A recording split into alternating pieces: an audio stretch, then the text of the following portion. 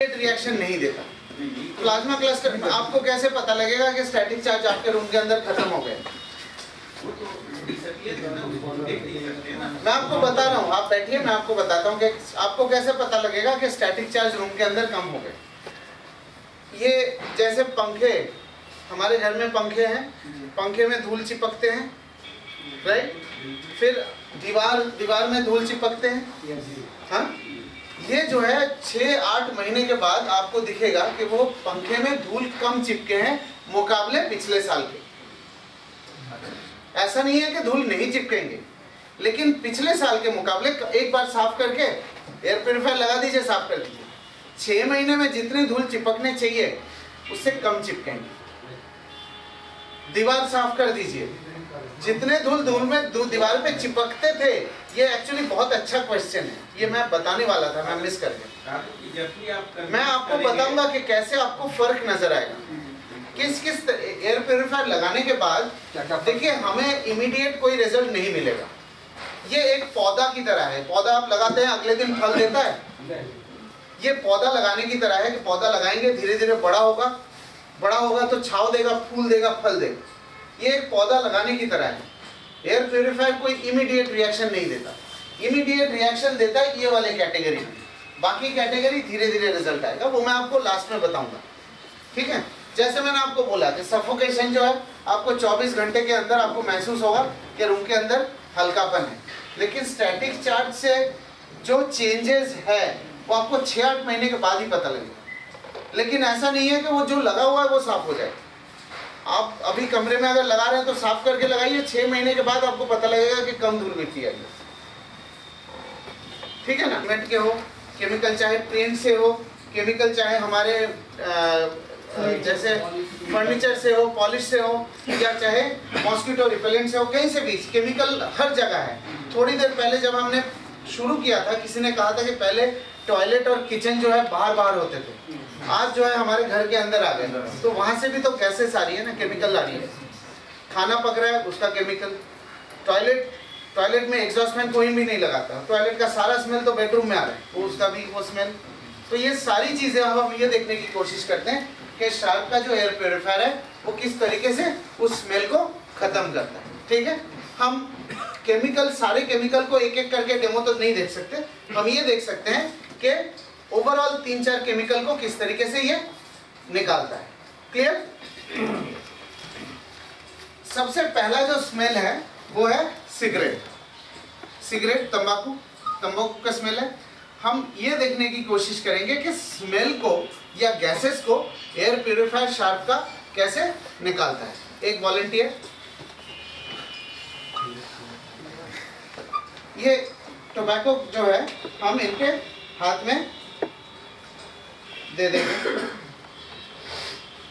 हाथ में देने के बाद आप दोनों हाथ को ऐसे मल लीजिए। तो इसमें क्या होगा कि दोनों हाथ में स्मेल बराबर आ जाएगा। ठीक है? राइट स्मेल बराबर है। झाड़ लीजिए थोड़ा। अब एक हाथ को जो है, एक हाथ को ऑन कर दिया हमने। एक हाथ को इसके ऊपर रखिए। एक हाथ को पीछे। इसमें हमें तीन चीज़ों का पता लगता है इस डेमो से। आप ध्यान से सुनिए। पहली चीज़ ये कि प्लाज्मा क्लस्टर जो है, मशीन के बाहर निकल के काम करता है। जो बाकी एयर प्योरीफायर्स है, वो सारा का सारा वैक्यूम क्लीनर की तरह काम करता है। प्लाज्मा क्लस्टर मशीन के बाहर निकल के काम करता है।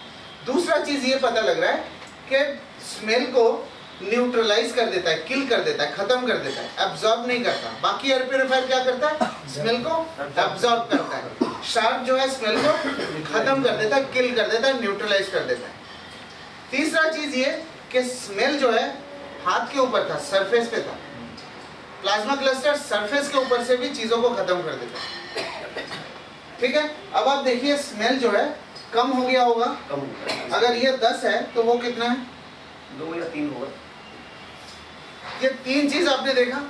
तो ये चीज़ जो है किसी ये तीनों चीज़ें जो है किसी भी एयर प्योरीफायर में पॉसिबल नहीं है। क्या में बराबर स्मेल है? और ये हाँ। देखते हैं कि अब हमारा एयर प्योरीफायर इस चीज़ को कैसे खत्म करता हाँ। है एक हाथ को पीछे कर दीजिए और एक अब ऑन करिए। हाँ एक हाथ को उसके ऊपर थोड़ा सा और ऊपर। हम ऊपर क्यों रख रहे हैं ताकि इसको हैं? इंस्टेंटली रिज़ल्ट देख सके। ठीक उसी तरीके से पूरे कमरे में फैल के चीज़ों को खत्म। वो तीन चीज़ें बताइए जो मैंने आपको बताया अभी नहीं नहीं नहीं तीन चीज़ें बताइए पहले। क्या क्या था? क्या काम करता है प्लाज्मा क्लस्टर प्लाज्मा क्लस्टर जो इसमें स्मेल था वो उसको खत्म करता है। और दूसरी प्लाज्मा चीज़ क्लस्टर स्मेल को न्यूट्रलाइज करता है। दूसरा काम क्या करता है कि बाहर निकल के काम करता है। काम करता है। तीसरा क्या है? सरफेस से सरफेस से भी उसको खत्म। घबराना नहीं घबराना नहीं चाहिए ना बताओ। पहला तो ये इसके स्मेल को खत्म करता है। देखो स्मेल खत्म हुआ कि नहीं? कम हुआ है। कम हो गया है। कितना है? अगर ये दस है तो वो कितना है? ये ये दो सर जो बता रहे हैं हेपा फ़िल्टर के बारे में एयर प्योरीफायर के बारे में तो हम अपने घर पर डेमो इस तरह से किए थे कि ये दिवाली के दिन में हमारे घर में डेंटिंग पेंटिंग का काम चल रहा था। और उसमें सोफा सेट वगैरह सारे चीज़ तो होता क्या है कि पेंट करने के बाद जिस रूम में आप पेंट करते हैं उस रूम में जाना मुश्किल हो जाता है। क्या सब पूरा सही है गलत? तो सर ऑलरेडी पहले भी बता चुके थे या इनका वीडियो हम देखे थे कि ये जो है सरफेस से मतलब न्यूट्रलाइज कर देता है और करता क्या है कि हवा बाहर बाहर की ओर। और उसके बाद ऑब्ज़र्व नहीं करता है। ऑब्ज़र्व नहीं करता है न्यूट्रलाइज कर देता है समाप्त कर देता है यानी कि। तो हम प्रैक्टिकली करने की कोशिश किए क्या किए कि जिस रूम में पेंट हुआ था वहाँ पर जो भी सोफा सेट था वहाँ हम क्या किए मशीन लगा दी मशीन लगाने के बाद हम उसको के बाद मतलब चला दिए चला ऑन करने के बाद चला दिए। और चलाने के बाद सवेरे जब हम उस रूम में जाते हैं उस सोफा से बैठते हैं तो मुझे ये फीलिंग हुआ कि हम यहाँ लगता है कि जैसे डेंटिंग पेंटिंग का काम करवाए ही नहीं तो ये एयर प्योरीफायर का ही कमाल था सर। तो हम चाहेंगे कि इसके और हम अपने घर पर लोगों को सर बुला बुला कर प्रैक्टिकल इस रूप से करते हैं। हमारे तो मतलब ये बाथरूम में जो हार्पिक वगैरह होता है सर वो काफ़ी मतलब महक देता है। ये सर ये बोला सही है गलत है। ये काफ़ी महक है। तो हम करते क्या है? प्रैक्टिकली दिखाने के लिए कि कागज़ पर या पेपर पर सब ले लेते हैं। ले लेने के बाद हम उन्हें सुंघाते हैं कि सर कैसा है? "हम्म, ना छोड़ दो।" तो हम कहे ठीक है छोड़ नहीं देना है यही तो करना है मुझे। और उसके बाद है सो इस पर हम ऑन करने के बाद रखते हैं। और उसके बाद हम उनको दिखाते हैं कि ये है या नहीं है। तो है उसके बाद काफ़ी कम गया। तो इस तरीके से हम डेमो अपने डेरा पर कर रहे हैं जैसा सर बता रहे हैं ये भी बताए सोल्यूशन बताए और उसका प्रूफ है डेमो इन तीनों चीज़ों को अपने कम्युनिकेशन में इंक्लूड करें। पहले प्रॉब्लम बताएँ स्टैटिक इलेक्ट्रिसिटी से नुकसान क्या होता है। सो so, उसका सोल्यूशन क्या है कि प्योरीफायर से स्टैटिक चार्ज खत्म हो सकता है शार्प के प्योरीफायर फिर उसका प्रूफ यह है कि डेमो ये तीन चीज़ अपने कम्युनिकेशन में ऐड कर लें। केमिकल केमिकल से क्या नुकसान हो रहा है? हमारे एयरवे इन्फ्लेमेशन हो रहा है। एयरवे को डैमेज पहुँचा रहा है जिससे हमें इतनी सारी बीमारियाँ हो रही एयर प्योरीफायर वो सारे केमिकल को न्यूट्रलाइज कर देता है। फिर आप प्रूफ के तौर पे ये दिखा। प्रॉब्लम सोल्यूशन प्रूफ ये तीन चीज़ को अपने कम्युनिकेशन में इंक्लूड गंदा होता है टॉयलेट का स्मेल टॉयलेट के स्मेल में क्या होता है? अमोनिया अमोनिया और कहाँ होता है? और कहाँ होता है अमोनिया एसिड एसिड हाँ? कोल्ड स्टोरेज यूरिन में होता है। और और कहाँ होता है अमोनिया? हैं। पसीने की बदबू में भी अमोनिया होता है। सिगरेट में अमोनिया होता है। सिगरेट में अमोनिया होता है पसीने की बदबू में अमोनिया होता है। हम क्या कर रहे हैं कि एमोनिया को शार्प किस तरीके से न्यूट्रलाइज करता है वो हम देखने की कोशिश करेंगे अब। ठीक है? एमोनिया जो है एक कलरलेस लिक्विड है। एमोनिया पानी की तरह है। ये कैसे पता लगेगा कि मैं डेमो एमोनिया से कर रहा हूँ? कैमरा भी है। तो एमोनिया को मैं अब जो है, इसमें डालूँगा। स्मेल तो कैमरा में पता नहीं लगेगा ना। ये एमोनिया को मैंने इसमें डाल दिया थोड़ा सा। ठीक है? अब एक हमारे पास एक पीएच सोल्यूशन है, पीएच सोल्यूशन। पीएच सोल्यूशन को डालने से एमोनिया कलर जो है, चेंज हो जाएगा। ये अमोनिया इसमें पीएच सोल्यूशन मैंने मिला दिया। ठीक है? कलर चेंज हो गया। ये एक मेरे पास कलर चार्ट भी है पीएच चार्ट पीएच चार्ट से पता लगेगा कि ये बेसिक हो गया है। ठीक है? मैच कर गया? कैमरे में तो स्मेल नहीं आएगा ना। लेकिन कम से कम कलर से कलर से पता लगेगा कि न्यूट्रलाइज हो रहा है। हमने क्या बोला? प्लाज्मा क्लस्टर तीन करता है न्यूट्रलाइज जो हो रहा है इससे पता लगेगा ठीक है? कहना ही है इनका इनका आँख को बाँध दीजिए। आँख बाँध दीजिए।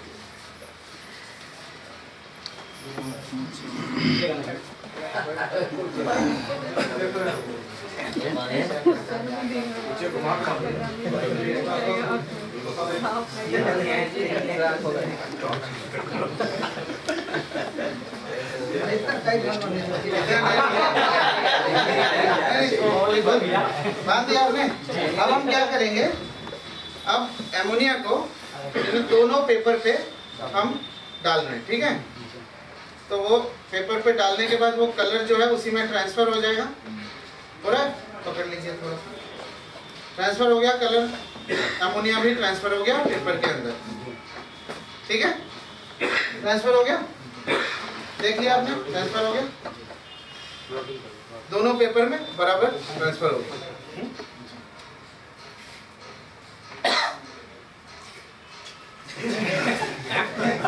ठीक है?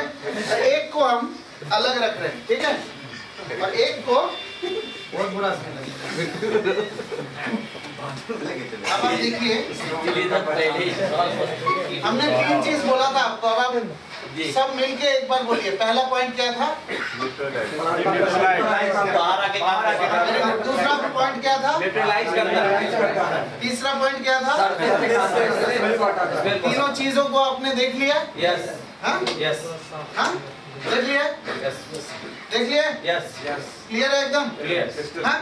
प्रूफ हो गया अब कैमरा में भी प्रूफ हो गया Yes. कि प्लाज्मा क्लस्टर हाँ और हम सामने क्यों दिखा रहे इसके पास लाके? के इमीडिएट रिज़ल्ट इमीडिएट रिज़ल्ट पता लगे। हाँ? ये? ठीक है ना? इसका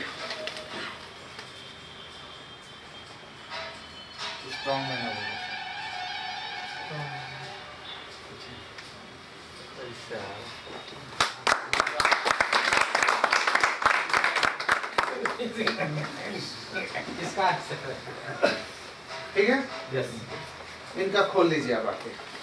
ये है डिफरेंस ये है प्लाज्मा क्लस्टर उसको सुनाइए तो सही। नहीं आप नहीं सुखाऊँगा आप वैसे ही एक बार आपको फर्श पे रखना पड़ेगा फर्श से मैक्सिमम दो तीन फीट ऊपर। मैक्सिमम फर्श पे लगाएँगे तो बेटर इलेक्ट्रिसिटी कितना कंज्यूम होता है एक ट्यूबलाइट जितना चालीस वाट। इस तरह नहीं इसको लगा सकते सर ऊंचाई पे। इतना ऊंचाई पे रखाएँगे ना तो ये सारा प्लाज्मा क्लस्टर जाके दीवार पे चिपक जाएगा। इसका पूरा साइकिल होना ज़रूरी है। नीचे रहना चाहिए। देखिए आजकल सीलिंग हाइट वैसे ही कम होती है। पहले अगर सीलिंग हाइट बारह चौदह फीट की होती थी आजकल सीलिंग हाइट इसीलिए नीचे रखना अगर सीलिंग हाइट अगर बारह चौदह फीट है तो लगा सकते हैं लेकिन फिर आप फिर आप वॉल्यूम ऑफ़ एयर आपका ज़्यादा हो जाएगा। तो आप उसको देखिए एक चीज़ और मैं डिस्कस करना भूल गया था जब मैं आपको बता रहा था कि लगाना कहाँ पे है। हम हमने ये तो डिस्कस कर लिया था कि एयर प्योरीफायर किस तरीके से मदद करता है। ग्यारह हज़ार में से पाँच हज़ार लीटर को आपको प्योरीफाई करना है। लेकिन वो पाँच हज़ार लीटर आप कहाँ लेते हैं सबसे ज़्यादा? घर पे लेते हैं बेडरूम में लेते हैं। बेडरूम की साइज़ जनरली डेढ़ सौ स्क्वायर फीट के आसपास होता है। 120 से डेढ़ सौ स्क्वायर फीट तो ये वाला प्रोडक्ट उसी लिए डिज़ाइन किया गया है। ठीक है? आपके सामने एक बहुत बड़ी अपॉर्चुनिटी डेढ़ सौ स्क्वायर फीट पे ये काम कर काम अगर आपकी सीलिंग हाइट नौ दस फीट मतलब अच्छा काम करेगा हाँ।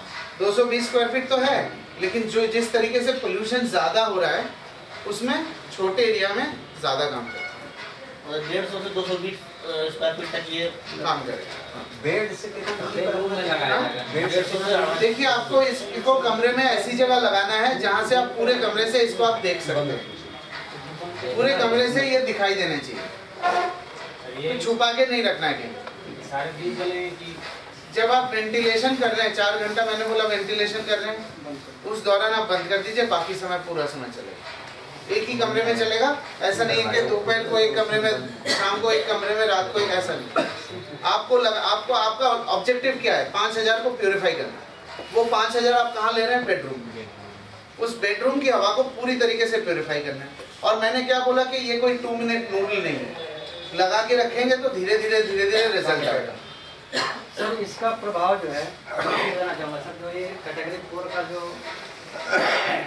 तो जैसे ऑपरेशन थिएटर्स होते हैं तो वहाँ पे सिर्फ़ हम कोशिश करते हैं, जो स्टरलाइज करते हैं उस कमरे को तो इसी कैटेगरी के पोल्यूशन को हम सोचते हैं, उसको ख़त्म करना है ऑपरेशन थिएटर सोचते हैं। तो क्या वहाँ पे सर कितना लाभ लाभदायक होगा? हाँ बिल्कुल लाभदायक होगा लेकिन आप एक बात सोचिए बेडरूम में जितने इन्फेक्शंस वायरस होते हैं हॉस्पिटल में उसका कितना गुना होता है? बहुत कम से कम 50-60 गुना ज़्यादा होगा हॉस्पिटल में। तो ये जो है 220 स्क्वायर फीट में तो काम करेगा नहीं। ऑपरेशन थिएटर सर वो सौ स्क्वायर फीट का डेढ़ सौ स्क्वायर फीट का होगा? मतलब एक बेडरूम वहाँ पे तीन लगाना पड़ेगा। पचास चालीस पचास स्क्वायर फीट पे एक लगाना पड़ेगा। आप ये खुद सोचिए ना कि बेडरूम में जितना फंगस या बैक्टीरिया या वायरस है हॉस्पिटल में कितना गुना ज़्यादा है। बट सर वो जो ओटी की बात कर रहे हैं सर वहाँ पे सर चाहे ओटी हो चाहे कोई भी एरिया हो कोई भी एरिया हो हॉस्पिटल का ओटी में हो सकता है थोड़ा ज़्यादा होगा लेकिन हॉस्पिटल का कोई भी कोना ऐसा नहीं है जो बेडरूम के बराबर का है इन्फेक्शन के कम से कम बेडरूम से 20-40 गुना ज़्यादा होगा। इन्फेक्शन तो ज़्यादा है ना। इन्फेक्शन जितना इन्फेक्शन ज़्यादा होगा उतनी ही आपको ये छोटे एरिया के लिए देना पड़ेगा। ये बल्कि बहुत अच्छा सवाल है। ठीक है ना? तो मतलब ये एक बेडरूम के हिसाब से 220 स्क्वायर फीट है। जैसे ही आप इसको डॉक्टर्स के रूम में लगाएँगे तो ये 150 स्क्वायर फीट मान के चलना पड़ेगा। आज वैसे ही पोल्यूशन आजकल ज़्यादा है। तो आपको आपको जितने छोटे एरिया में लगाएँगे उतनी जल्दी आपको इफेक्टिवनेस लगेगा। में जैसे लगता है डेढ़ सौ स्क्वायर फीट डेढ़ वो वहाँ बहुत अच्छा काम करेगा डेढ़ सौ से दो सौ बीस हुआ ना? मतलब अगर आप हॉस्पिटल में लगाएँगे तो आपको 50 स्क्वायर फीट मान के चलना तो पड़ेगा स्पेसिफिक जगह अगर कोई डॉक्टर्स रूम है वहाँ डेढ़ सौ स्क्वायर फीट मान के चलना। ऐसे सर जो पैथोलॉजी सेंटर है पैथोलॉजी लैब में आपको 100 स्क्वायर फीट मान के चलना पड़ेगा। पैथोलॉजी लैब में भी तो इन्फेक्शन बहुत ज़्यादा होता है। वो तो पूरे दिन वही चेक करते हैं इन्फेक्शन पैथोलॉजी अल्ट्रासाउंड में अल्ट्रासाउंड में ठीक है। अल्ट्रासाउंड डेढ़ सौ स्क्वायर फीट स्क्वायर फीट लेकिन पैथोलॉजी लैब ओटी आईसीयू वहाँ पे आपको 50 100 स्क्वायर फीट मान के चलना। डिपेंड करेगा ये कैलकुलेशन है ये आपको डिसाइड करना है कि इन्फेक्शन बेडरूम में कितना है और पैथोलॉजी लैब में कितना ज़्यादा है। जितना गुना है उतना ही ये छोटा करेगा ठीक है ना? छोटा एरिया में काम करेगा राइट अब हम आते हैं कैटेगरी वन कैटेगरी वन के लिए कैटेगरी वन के लिए हमारे पास फिल्ट्रेशन सिस्टम है। फिल्ट्रेशन सिस्टम कैसे काम करता है? जैसे मैंने आपको थोड़ी देर पहले बताया था वैक्यूम क्लीनर की तरह एक सक्शन मोड पे काम करता है। ये यहाँ से सक्शन होगा। और दूसरी तरफ़ ये ट्रैप हो जाएगा। खराब चीज़ें ट्रैप हो जाएगी।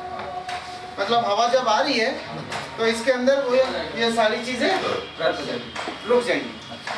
आपको मैंने क्या बताया कि इसके पार्टिकल के साइज़ मिनिमम कितना होता है? ज़ीरो पॉइंट 0.3 माइक्रो तो ये 0.3 माइक्रोन तक के पार्टिकल्स को रोक सकता है।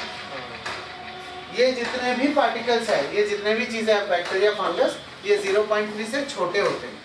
तो इसमें रुकेंगे नहीं, इसके अंदर से निकल जाएँगे। तो उसके लिए शार्प ने प्लाज्मा क्लस्टर दिया। सिर्फ़ ये चीज़ें जो है उसके लिए रुकेंगी। ठीक है? अब जो है, हर ब्रांड जो है हेपा फ़िल्टर देता है। हर ब्रांड के पास ये फ़िल्टर ये किसी के पास नहीं है। लेकिन ये ये वाला चीज़ सबके पास है। कैसे पता लगेगा कि शार्प का ये हेपा फ़िल्टर बेटर हेपा का मतलब हाई एफिशिएंसी पार्टिकल अरेस्टर ये कैसे पता लगेगा? ये बेटर है। दो तरीके। एक है इसका कितना लेंथ वेट और थिकनेस मतलब कितने फोल्ड्स है सरफेस एरिया कितना है। खुलने के बाद कितना लंबा है। बीस हज़ार product price 200 square feet area sharp का जो सरफेस एरिया है फ़िल्टर का, सबसे हाईएस्ट है। आपको बीस हज़ार रुपये में इतना बड़ा नहीं मिलेगा। ये चैलेंज कर सकते हैं। ये चैलेंज दूसरा कि एक घंटे में कितनी बार साफ़ करते हैं 130 स्क्वायर फीट कमरे को दिन घंटे में पाँच बार साफ़ कर देगा क्योंकि ये जो है एक पैसिव टेक्नोलॉजी है। प्लाज्मा क्लस्टर कैसे काम करता था? बाहर निकल के। प्लाज्मा क्लस्टर तो कंटिन्यूस काम करता रहेगा। लेकिन ये एक साइकिल है। ये घंटे में पाँच साइकिल होंगे। 130 स्क्वायर फीट अगर आपका रूम साइज़ है। ये भी ज़्यादा सबसे। ठीक है? इसका कोई मेंटेनेंस सच नहीं है। इसको महीने में एक बार निकाल के आपको ऐसे झाड़ देना है। और हो सके तो जिस दिन कड़ी धूप हो उस दिन आपको धूप में रख देना। जैसे कपड़े हम सुखाते हैं धूप में तो कपड़े की एफिशिएंसी बढ़ जाती है कपड़े अच्छे हो जाते हैं। इसको भी अगर ये भी टेक्निकल टेक्सटाइल बोलते हैं इसको। इसको भी अगर आप धूप में रख देंगे तो इसकी एफिशिएंसी बढ़ जाती है। अंडरस्टूड क्लियर बाकी इसका बाहर का, बाहर वाला जो साइड है, उसको धो सकते हैं। उसको आप धो सकते हैं। जो आपने थोड़ी देर पहले एसी वाला देखा था फ़िल्टर ये उसी की तरह है। इसको आप वॉश कर सकते हैं ड्राई कर सकते हैं। ठीक है? तो जिस वक्त आप अगर वेंटिलेशन कर रहे हैं तो आपका प्योरीफायर बंद है। उस दौरान आप इसको धो दीजिए। इसको महीने में एक बार आप धो सकते हैं। और महीने में एक बार उतने ही समय, तीन चार घंटे के लिए आप इसको धूप में रख दीजिए। महीने में मतलब महीने में दो महीने में जब आपको टाइम मिले ऐसा कोई ज़रूरी नहीं है। जब भी आप सो, सोचे कि हाँ एक और बहुत अहम पॉइंट आपको इस फ़िल्टर का जो लाइफ है इसका लाइफ है दो साल। अगर आप इसको नॉर्मल बेडरूम में लगाते हैं। ठीक उसी तरीके से अगर आप इसको आप हॉस्पिटल में लगाएँगे तो इसकी फ़िल्टर लाइफ कम हो जाएगी। डेढ़ साल या एक साल। एक साल हो जाएगा या हो सकता है छः महीने में भी बदलना पड़ेगा। डिपेंड करेगा कि कितना गंद है। सर्विसिंग के बारे में सर इसका इसका जो फ़िल्टर लाइफ अगर आप नॉर्मल बेडरूम में लगाते हैं तो दो साल चलेगा ही चलेगा। हाँ? अब क्या है कि ये फ़िल्टर रिप्लेसमेंट फ़िल्टर भी वेस्टिज के थ्रू ही मिलेगा। इसमें भी बीवी मिलेगी। उसमें क्या उसका प्राइस सर बताएँगे? इसका प्राइस इसी हफ़्ते के अंदर अनाउंस हो जाएगा। मोस्ट लाइकली इसका चार हज़ार रुपए के आसपास होगा। इसका रिप्लेसमेंट फ़िल्टर का कॉस्ट अगर आप इसको देखें तो ये फ़िल्टर का कॉस्ट कुछ भी नहीं है। जितना पैसा हम पानी में खर्च करते हैं आज चार लीटर के लिए ग्यारह हज़ार लीटर के लिए इसका कॉस्ट कुछ भी नहीं ना के बराबर। आप खुद सोचिए ना छः साल में दो बार आपको फ़िल्टर बदलने हैं तो बीस हज़ार का मशीन चार हज़ार चार हज़ार आठ हज़ार तीस हज़ार मान के चले छः साल में तीस हज़ार मतलब साल में पाँच हज़ार। छः साल चलेगा सर मतलब मैं आपको छः साल का कैलकुलेशन बता हाँ छः साल तो मतलब साल का पाँच हजार तीन सौ पैंसठ पाँच हजार डिवाइडेड बाई तीन सौ पैंसठ करिए तो कितना पाँच हजार डिवाइडेड बाई तीन सौ पैंसठ करिए हमें ट्रेनिंग আছে একটু পরে ফোন করছি হুম, বিশু पाँच हजार हाँ करिए पर डे कितना हुआ? पाँच हज़ार डिवाइडेड बाई तीन सौ पैंसठ। हाँ? तेरह रुपया करीब तेरह रुपये पर डे। तेरह रुपया सत्तर पैसा। चौदह रुपए पर डे। अब पानी के लिए कितना खर्च करते हैं बताइए। अब हेज आज सुबह पटना में कैसा मौसम था? धूप नहीं दिखाई दे रही थी? राइट उसमें कैसा कैसा आपको दिख रहा था रात को जो है ओस पड़ते हैं। और पूरे रात को जो है गाड़ियाँ चलती हैं। बहुत सारे कंस्ट्रक्शन एक्टिविटी हो रहा है, धूल मिट्टी है। ये धूल मिट्टी जो है, वो ओस के साथ चिपक जाते हैं। राइट ये ओस के साथ चिपक जाते हैं और लोअर एटमोसफियर में ये लॉक हो जाते हैं सेटल हो जाते हैं। रह जाते हैं लोअर एटमोसफियर में। ठीक है? तो जब आप सुबह उठते हो, आपको धुंधलापन महसूस होता है, दिखाई नहीं देता। क्यों? रात को ओस और पूरे धूल मिट्टी वो चिपक गए चिपक गए जब तक ना धूप कड़ी हो तब तक वो हटेंगे नहीं। ये स्पेशली इस मौसम में रहते हैं। उसको बोलते हैं हेज हेज बोलेंगे या स्मॉग बोल दीजिए। तो जब आपके हेज मोड में ये उस सिचुएशन को रिड्यूस कर दे रूम के अंदर से। रात को जब आप सो रहे हैं तो एक बार हेज ऑन करके सो जाइए। बाकी वो उसमें एक घंटे के बाद वो नॉर्मल मोड में आ जाए। ऑटोमेटिक ऑटोमेटिक एक घंटे के लिए ये है। इसके दो साल की ऑन साइट वारंटी है और इसकी सर्विस जो है शार्प डायरेक्टली